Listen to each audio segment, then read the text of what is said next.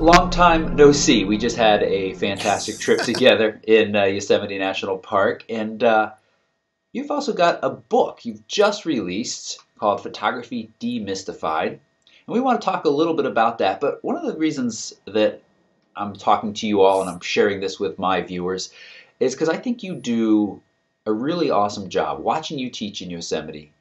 I really appreciate how you can kind of bridge that, well, I'll call it a divide between the artistically inclined person and the kind of photo geek. And you see, especially on YouTube, you know, with reviews, uh, you know, you get people that are very technically inclined and want to know the bits and bolts of how their camera works. For some people, that kind of can be a hang up. Uh, other people just really enjoy it.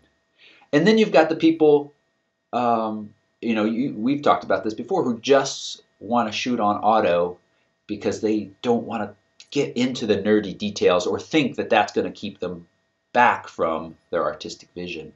And so I wonder if you you would talk a little bit about um, how you work with those people and what advice you would give to to each of the camps. Yeah, sure. Um, well, first, thanks again for having me on. Like you said, long time no see. um, and uh, looking forward to seeing you here in a few days as we go to New Zealand. So that's, that's going to be awesome. Uh, yeah, you know, Toby, as we've been out and you've watched um, our whole team teach and get gotten to know us, you know, well when we're out, um, I think that's one of the biggest struggles that that that both camps have is is is you know one understands one thing but like you said, doesn't doesn't want to approach the other they're afraid to uh, especially the artistic minded they're really afraid of all of the buttons and the technical jargon it's a whole nother language to them.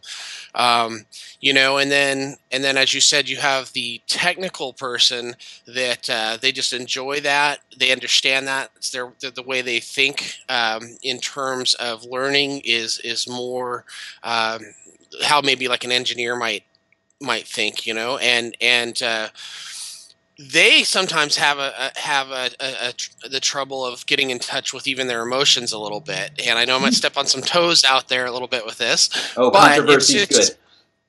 Controversy's good. Okay, well, it's true. It's it's absolutely true, and you see it uh, when we're out, you know, and and so.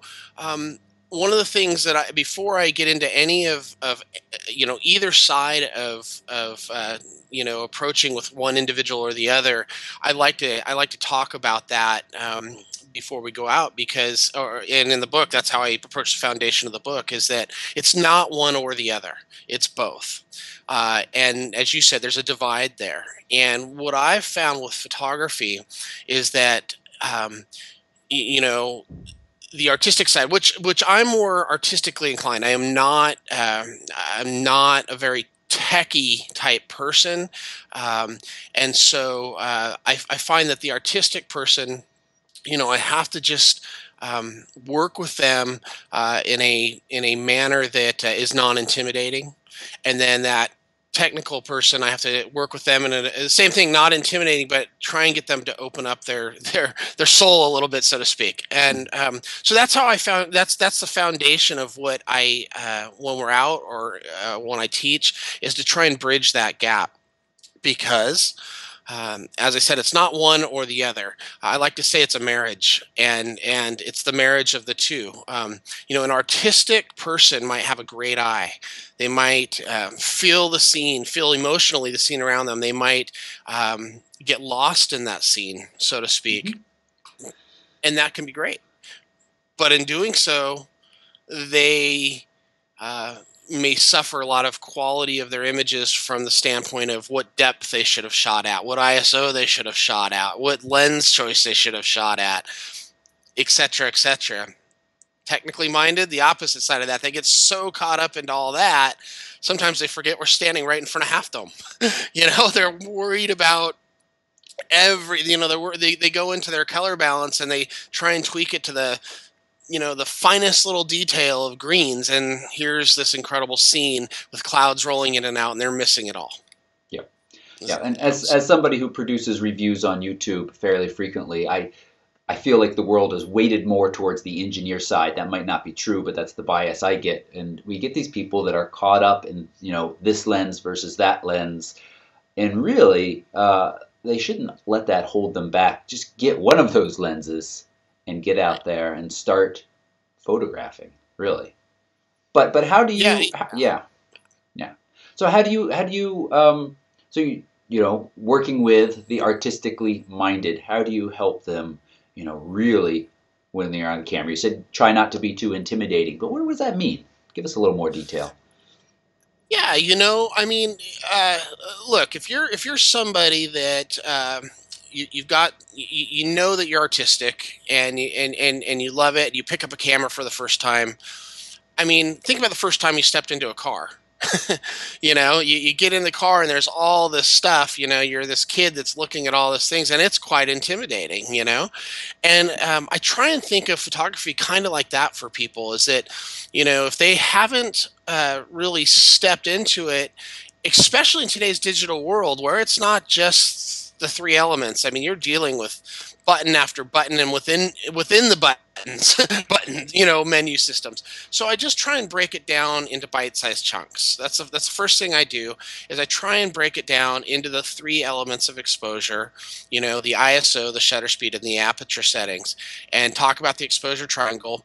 But with the artistic person what i do is is i i, I tell them you know let's not worry about every little bit in your men- menu system right now in your camera. Photography still comes down to light and beauty and the composition and they, they relate to that. They're like light beauty composition. Okay I, you're speaking my language you know? Right. once i do that I, sorry i just said once i do that i can approach that exposure triangle um, and and talk to them about why that is so important the benefits of that for them and what they're going to be able to create artistically Right. I, you know, we throw around a lot of different buzzwords. You've got one in your title, demystified. You know, photography demystified. But I think that that is one of your strengths. Is you have literally taught thousands of beginners, uh, Yeah. tens of thousands maybe, um, across this country, and and you have found the sweet spot. Reading your book, we've got this. It's very clear. It's not this kind of language where you have to look up in a glossary it is understandable when you're breaking down that exposure triangle and those pieces. So I appreciate that, and I think that uh, we see that in the field as well. That wasn't really so thank much a you. Yeah. question. No, no, but but that I appreciate that, you know, and I- and I have to say, if you if you read the reviews, I'm I'm blown away right now. I mean, we're at 337 reviews as of this morning, it's just right off the launch. It's just going crazy. But you know, review after review is uh, I feel like David is there in the living room talking to me. I feel like uh, I can go out. It's non. It, it's it's technical enough to, to to to deal with the technical side, but it's uh, simplified enough into my ability to relate, and um, I, that's awesome because I, I just know that that those artistic people out there have struggled to find something that would work for them. so uh, the engineer side, the, the guy that comes up to you or the girl that has you know their camera down and knows everything about it. How, how do you help them see Half Dome in front of them? Uh, well, you know, I send them to my wife, Allie. uh, you know, that and that's the harder person usually for me to teach. Which you'd think it would be the other way because the artistic person is struggling with all the buttons. But I, I found that spot of of being able to to because I'm that way. So, um, but the technical person that's just really into everything that's in front of them, their camera. Um, usually, the way I approach that uh, is is I try and do, I, the first thing I try and do honestly is I try and break down the barriers between us. Like I try and just have a conversation, find out what their interests are. I find that with that type of personality, that if I find out who they are as a person, what they like, you know, what's their favorite sports team, I don't know, whatever it might be. It may sound funny, but that breaks down this barrier and allows a little bit of trust to come in. It's how we approach our portraiture as well. And so uh, it allows a little bit of trust to come in. Once that trust comes in, then I start talking to him, man, like, you know, hey, this is this is great. Your triangle exposure here is spot on. I mean, you've you've nailed your exposure. Hey, you know what? Let's take a look at your composition here. And uh, as we're looking at the composition, what are you seeing? And and they tend to be very linear, right? So you might see everything, the thirds. They got their you know they not only have their their uh, rule their grid on their live display but they've got their you know camera leveler it looks like they're flying an airplane everything is up and they're like spending a half hour just getting the camera level. And I say, okay, let's turn all of that off for a second. You know, let's just stop. Your exposure's dead on. Look away from the camera for a second. Look in front of you. What do you see? And there, say, oh, I see half dome. Great. What do you see?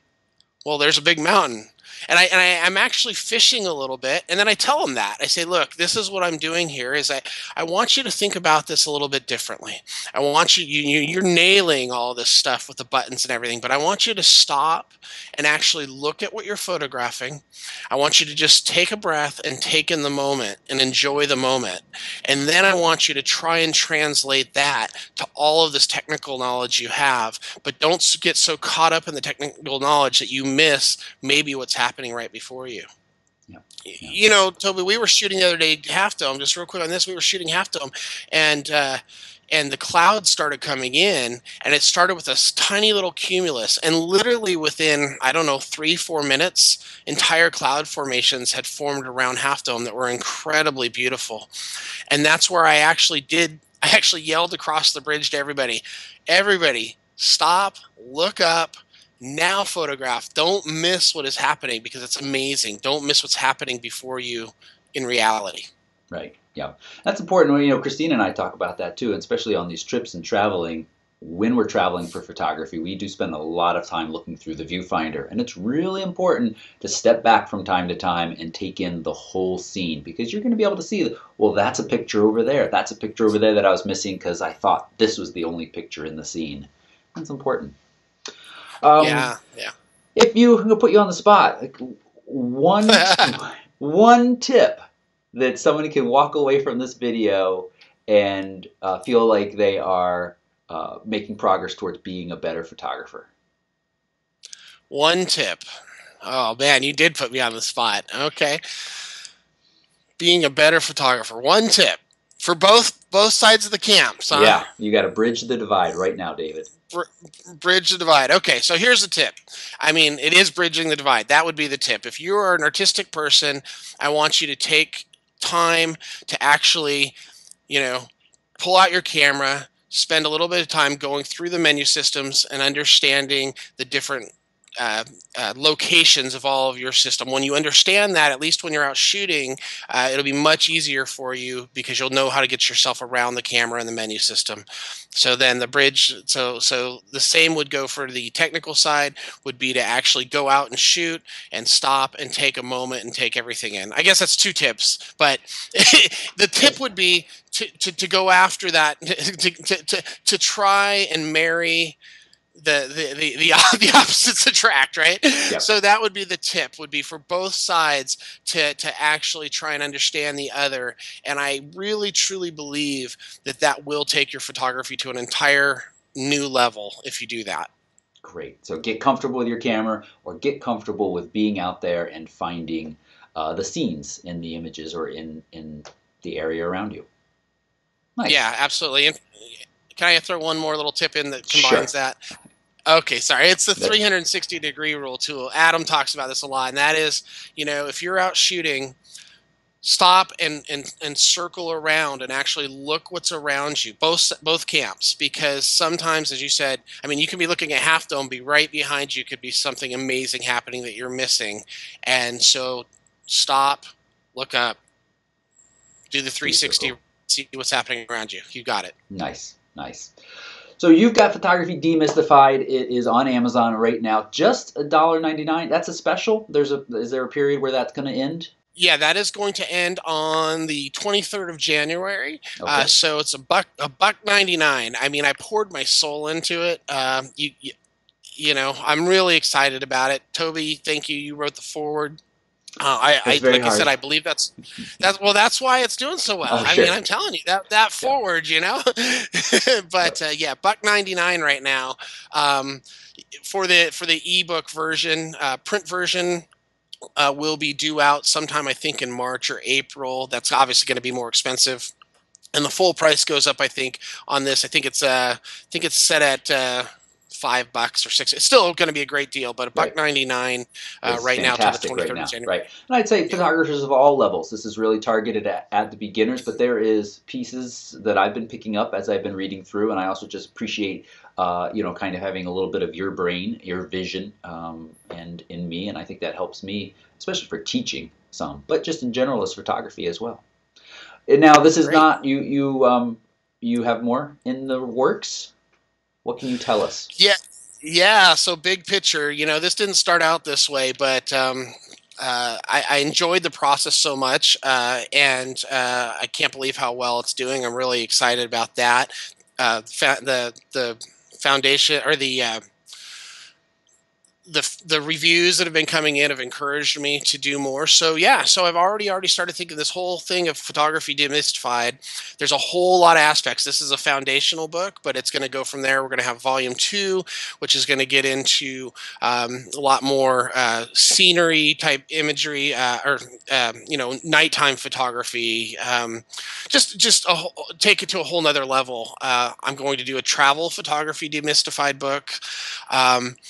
And uh, I'm actually got some content written on those. And then one I'm really excited about because I haven't seen anybody do anything like this is uh, I am excited about doing a children's photography book, a book that's for kids 13 and under that parents can actually go out and do some really great stuff with and help teach photography and get those kids excited about photography. I'm really excited. I'm nervous about it because it's a whole nother audience I have to speak to um, and try and get in their brains. but But but super excited about that, and we'll see where it goes from there. That's, That's all awesome. due by the end of the year. Yeah. That's awesome. All right. Well, we'll check back in with you, and we'll be on trips talking about this stuff in the future as well. So, uh, David, thanks so much for taking a few moments to talk about bridging the divide engineer versus artistic maybe i'll title this video engineer versus artistic photographer and uh, we'll see what people say thanks so much all right thanks so much toby all right